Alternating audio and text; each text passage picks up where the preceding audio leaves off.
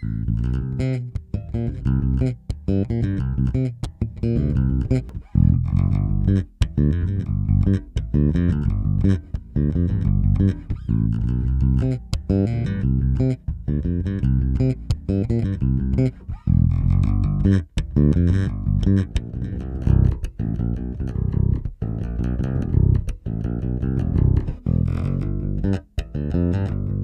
you.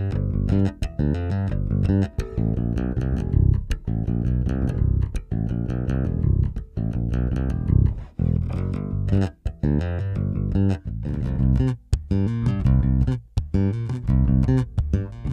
you.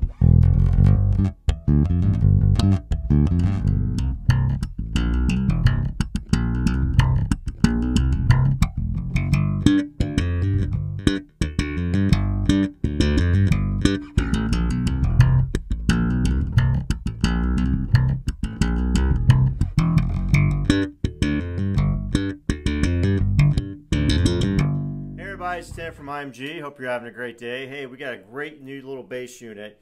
This is the Warwick Gnome iPro. As you can tell, I mean, this thing is super lightweight, fits in a gig bag. As you can tell on the front, it's got a nice four section here. As far as your EQ, simple input, headphone output. On the back is where it's interesting because not only speaker out, you have a true DI out, but you also have a USB out. This works with any recording software, period. So literally this will go right here, boom, in your computer. It gets recognized and you're going. So you're going to be seeing this little guy. We're going to be using this in some future bass videos. The thing sounds killer.